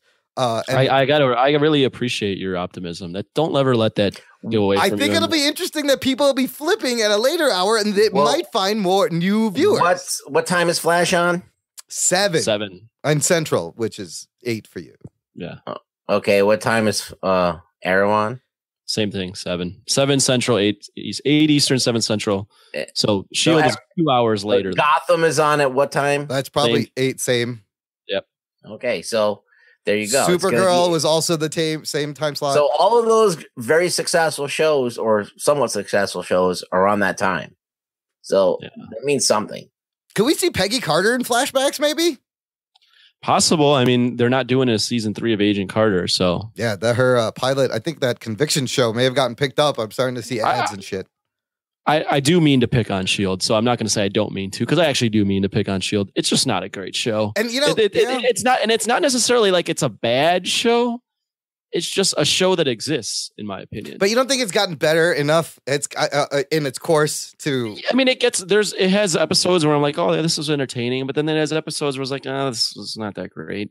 You know, it's just a meandering show, really. I mean, what's the one thing like you point to Shield other than Chloe Bennet? What's the one thing where you go, man, Shield is really good at this? I mean, Like, what's the uh, thing? uh, What's what's the yeah, sauce? The ensemble. I feel like they're do, good they do, at. do they do ensemble cast better than anybody else? No, they they got The only thing I can point to is at least Shield has like a diverse cast. Yeah, it kinda had, it had- yes, yes. But, Uh, but but but diversity for just being diverse for the sake not of being- diverse, yeah. But yeah, I think it's got a good. de- I think it's got a I think it when it does everything decently. It's got a decent budget. It does decent acting, decent action. It's everything is decent. It just doesn't go above the board. I mean, everything is done very well. And even the writing is decent. Everything's good. It's just there's nothing that's spectacular that kind of will rise above all the other stuff. Yeah, and I think to that point, I think you need something. You need one thing that you're really Ghost really Rider. That's what they're adding, and they're hoping that it's going to bring people. It might Ghost be too late. It might Do be too thi- late. for yeah. that. Do you think the Ghost Rider is going to save the show, or is it too late? Listen, I want the show to be good, but I don't know if Ghost Rider is the move. I just don't think It is so. odd. It is odd, and, And, it- it's and it's not it's not the Ghost Rider that we all know No. either. But you know, they have another opportunity to, to maybe introduce. Here's the thing: look, if they aren't worried about this tying into the larger MCU, they now they feel like, oh, they pushed us all the way in the corner in this 9 p.m. time slot. I kind of hope that they're just gonna go. You know what? Who's- Fuck it. Let's go crazy. Let's bring in like the new young generation of heroes. Maybe you you, Yeah, you that's what I use some of these say. new people, like a, the new Nova, or you know, you could introduce, you can mention like a Miles Morales, or you can mention this new gener, like the new gener. Young Avengers were cool. Yes, Remember that yes. the guy who, who was the he was the black guy that was like kind of Captain America ish. I forgot his name. It was a while ago. Is he still even active? Uh, I don't know who you're talking about. Oh come on! You didn't read the Young Avengers? Oh, I'm sorry. Let's I find out. the whole thing. I have to. I have to, Google, I have to Google it now. Google it. While you Google that, I don't know. I, I think, like Rug Boy said, I want the show to be I to be all right, but it's it's, it's there's just nothing that you latch onto every week, and you're like, I just I want to see this performance. Or I want to see. But Fitz and Simmons are a couple now. We're gonna get to see. Oh my couple. God, Fitz and Simmons are a couple. I mean, Fitz is good. Simmons is good. That might ruin it. Actually, they should not be together and happy. That's uh, what what good? What fun is They're that? good. There's they're good. It's just, Everyone is just good or like okay. I I see what you're saying, and I kind of I I kind of want to see them do more more ensemble family. Like make it the X Men show. Show me different pairings of characters going off and doing things. You know, cutting back and forth with different subplots. There's so much potential there, and they just kind of not feel like they're restrained by having to you know try to tie into the larger movies. Just, See, I, I, I even, I'm even going to disagree with that. I, I don't think there's potential there. No. Potential is something that we haven't seen, but we're like we're catching glimmers of. We're we're three seasons in on this cast. There's no more potential. You could say potential like a se- like halfway through the season, like yeah, I could see potential for this getting a lot better. When you're three seasons in, potential is not a word you want to be using to describe a show. That's a good point. That's a good point. This is season four. I This could potentially be- see this getting better in five seasons. At the, yeah, at, at this point, we we should it should have been there should have been a, oh, a great storyline, something to really invest in to come back. it's just not. It's not nothing. catching. it's nothing. It's not Yeah. catching with enough viewers to make ABC happy. If it did, they wouldn't push it back twice. They should scrap it and do Young Avengers. So who- who's in the Young way, Avengers? He's uh well you have Patriot. Patriot. There Okay. you go. All right, Patriot is like this. He's a black dude. He's kind of Captain America ish. You got Hulkling, which is like a kind of like a he's a Skrull that he takes the form of something that looks like Hulk. Okay. You have um Wiccan, who is like a magic guy who can do magic shit, like fucking like teleporting and shit like that. You have uh Prodigy, who can make anything like like tech. And you have Hawkeye, Kate but Bishop, the girl Hawkeye. yeah, the girl Hawkeye. So you could change her name. Dude, who she is awesome. I I somebody should bring her into a TV show somewhere. Like Kate Bishop Hawkeye is actually she's bad. Just call her Kate Bishop. Yeah, don't even call her Hawkeye. Be like Kate Bishop. She's just an incredible archer. but like they're just young. They're young. They're diverse. They're you know they're all, all across the board. There's gay characters. There's all kinds of great things that are now and you know you know in the fabric of what we're trying to do with Marvel. What they're trying to do with diversity. It's all there. So I mean, they have a property. They're just never going to use it. It's that's never going to get made into a movie. So put it on TV. Vision, Vision was in it at one point, I guess. There was Former member? Iron Lad. Iron Lad. Iron uh, Rex, we uh, you you weren't on the show where we talked about uh, them bringing Runaways to Hulu, Yeah, that'd be cool. right? Isn't that a great idea? I've uh, I remember we we would talk about Runaways. I think you They're the that too. kids of the bad guys. They're like a bunch of kids of bad guys that they don't know that their parents are bad guys, so they run away from their parents. Already sounds more interesting than Agents of Shield season four. Let me tell you what. Oh shit. Here's we here's got him around the flip. We got him around the flip. I was going to say the, the problem with Agents of Shield from its start is they so they didn't have like a, an actual storyline to base this off of. Right. So yeah, that's you know that that provides you a lot of creative freedom or whatever. But they never settled on a thing. Like I keep mentioning, something that the sauce, the secret sauce that makes this an awesome show. There's they never no settled on one thing. They don't have There's like, no yeah. they don't have their formula down, and they kept experimenting with different things, and nothing's ever completely hit because they've never had a source material to go back to. And then they got rid of like a couple of characters that were cool. Yeah, And no, they- they you lost. came- Yeah, you lost Hunter and Bobby, and they never got their show. So what the fuck was that all about? Why'd you have to fucking write them off? We, uh, people love them. They'll probably come back. Maybe. All right, we'll see. Uh, you know, We'll what? see. Well, you but you guys all have good points, and I'm just that's the main reason why I'm excited is to see how How, Ghost Rider. yeah, Ghost Rider and how they're gonna play. You know, they have this Inhumans thing now they can play with, and then there's robots. Agents of Shield should go away, and they should just do Secret Warriors or Young Avengers, and that should be that. I do agree. I just wish that there wasn't a Shield connection. Like, just make another show. There's nothing to do with Shield, but there's superheroes in it.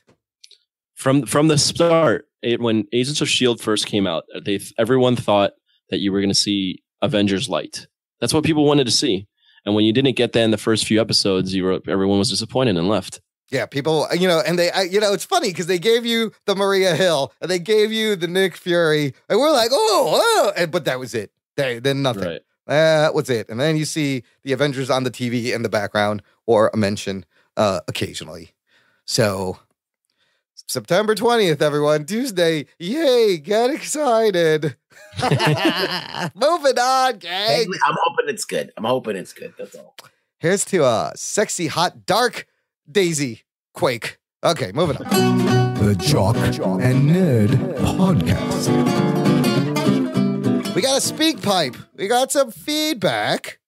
Uh, I'm just gonna play it. Here it is. Hello, Jock and Nerd Podcast. This is Mr. Throwback Thursday from the Mr. Throwback Thursday podcast. How do we make this call relevant to both shows? I ask you a question about a hip hop comic book. Tell me, in your professional opinions, because I have my own, if the Nine Rings of Wu Tang series is not the most horrible, horrible set of comic books in recent memory. I believe it came out in 1999. Uh, I did not get a hold of it then. I was 1999. I was probably deployed to the Mediterranean or the Persian Gulf or somewhere stupid like that. But I do have a digital copy, and as with all things Wu Tang, I have to get a hold of it. So I have Shaolin style for the PS1. Also horrible, but you know it's Wu Tang, so I support. Um, so I want you guys to check out Nine Rings of Wu Tang. Tell me if it is not uh, amateurish. Uh, looks like a high schooler put the whole thing together, both drawings and uh, speech. Uh, yeah, so check it out. Let me know what you think. If you need to get your hands on it, you can always email me at uh, mrthrowbackthursday at gmail.com, and I might be able to find through nefarious means a way to get them to you. All right, keep doing what you're doing, and uh, we'll talk at you later. Thanks, Mr. Throwback Thursday. I love these guys. I got something. Yeah, what do you got? First off, thank you, Mr. Throwback Thursday, for calling in. Um, but what a rousing uh, introduction to something you want me to read. You go, it's horrible. you want it? This is the most terrible thing ever. you should read this. Oh, okay. This makes me want to read this. So I've never Well, send it over, buddy. Let's do it. I know. Uh, Mr. Throwback Thursday, you're going to have to email us a copy because I looked online. You, uh, there's a link to images. Uh, I found some reviews. It was made by Image Comic Books, 1999. Uh, the idea was there was going to be nine issues, one for each uh, member of the Wu Tang Clan, and only five came out, and then it was canceled. Uh, the the art, honestly, the art's not bad. It's of the time, but from the reviews that I've read, I heard the story is just really bad. The art, I didn't mind the art too much. I'd love to check it out, Mister Throwback Thursday. Uh, it's just the Wu Tang. They're big geeks, man. They love comic books. Did, uh, did you guys ever watch the Chappelle show? Yes. Yes. Do you remember when the Asian community drafted the Wu Tang? Yeah, well, the race, the race draft. Oh, racial draft, yeah. And then you got all the Asians in the crowd going, throwing up the W's and going, woo. We choose the RZA, the GZA, old dirty bastard. That's so. Yeah, that was a great episode. that was That was fucking hilarious. Uh, yeah, the artwork looks like typical Jim Lee clones. right, It's just like typical of the time image of the late nine, 1999, 2000. Yeah. Kind of anime inspired because they it's kind of like uh, they love kung fu and comic books. Uh, Method Man, Ghostface Killer are two big superhero geeks. Uh, Method Man's on that. Uh, he's I think he's consulting on Luke Cage, and Oh, cool. yeah, and he goes sometimes goes by the name Johnny Blaze, a Ghost Rider reference. He also uh, wrote a song called "The Riddler" for the Batman Forever soundtrack. Ghostface Killer is obsessed with Iron Man. Named Keep as saying killer. You're, you're really Killa. frustrating me. Sorry, Yeah. Ghost, that's a different guy. Put a little AH. In uh, loves Iron Man. Named his debut solo album after the Ironclad superhero. He has and he's has a cameo role in the first Iron Man movie, but uh, the scene got deleted uh, from the final movie. But he also has a song on the Iron Man soundtrack. So the obviously these guys are comic book geeks. They're like, hey, we should make a comic book. But I, it wasn't very good, apparently. But look, gang, if you want to send us a speak pipe, all you got to do is go to jockandnerd.com slash speak pipe or just go to jockandnerd.com. There's a big tab right on the right. It says, leave us a message. You have 90 seconds. Leave us your thoughts. We'll play it on the show. And I've I've sent them four speak pipes on their show. So we've been kind of, Yeah. yeah, yeah, we're kind of trading speak pipes here.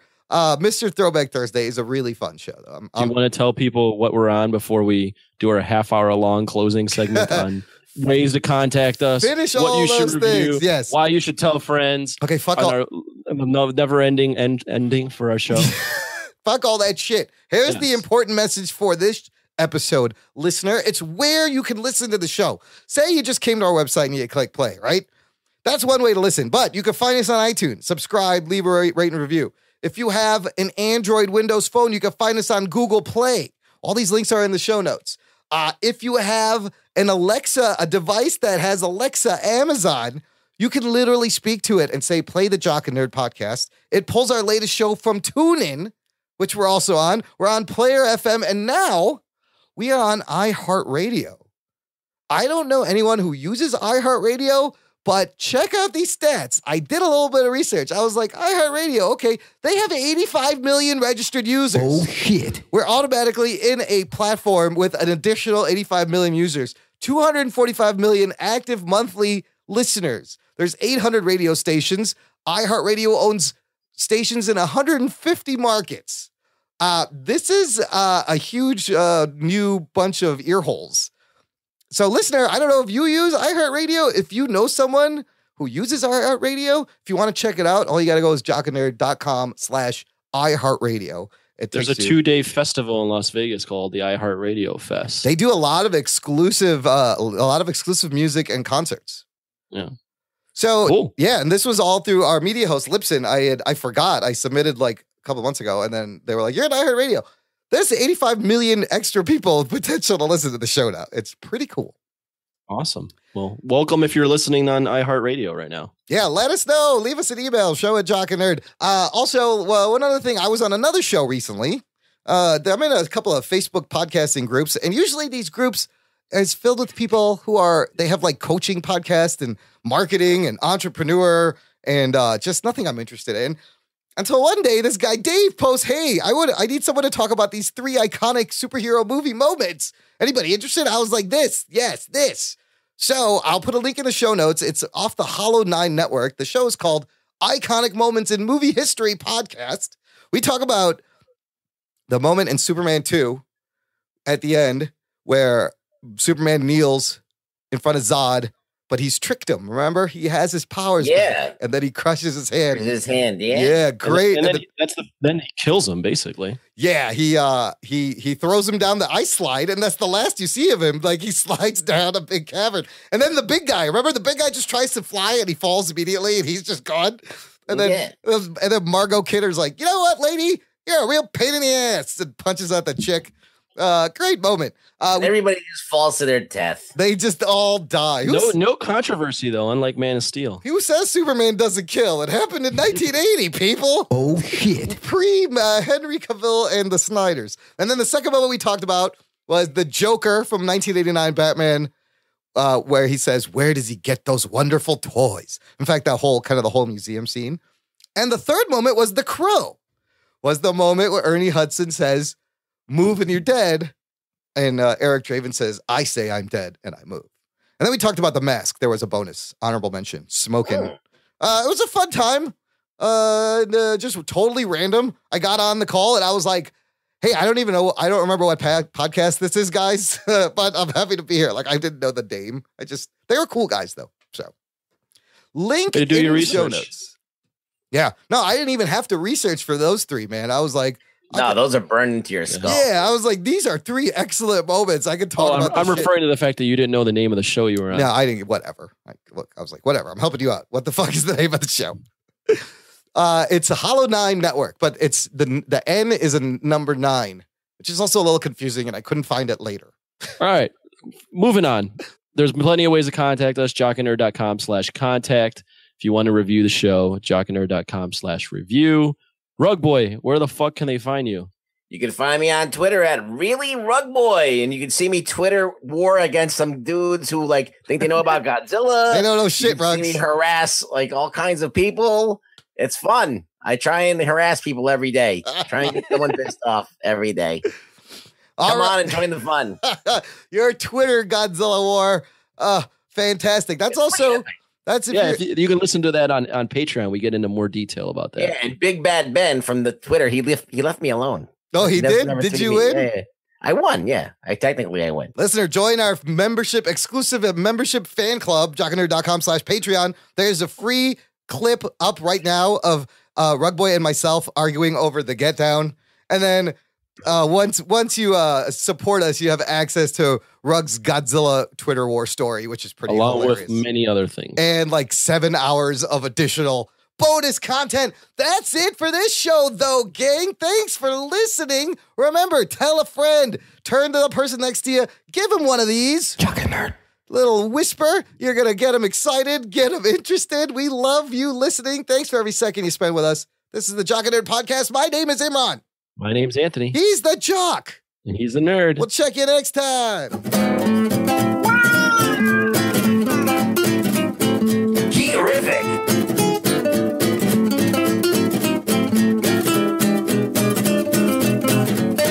Not funny. Bro, do you even podcast? Geek boner. Talking nerd.